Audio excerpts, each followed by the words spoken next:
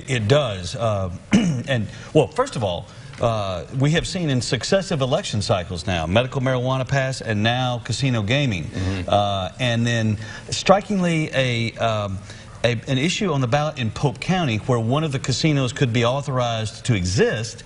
Uh, an issue in Pope County now sort of forces the county judge in Pope County to seek a vote of the people before they can determine whether or not they want to have a casino in their own community. So uh, it goes even deeper uh, inside Russellville in that area. Mm -hmm. but uh, uh, I.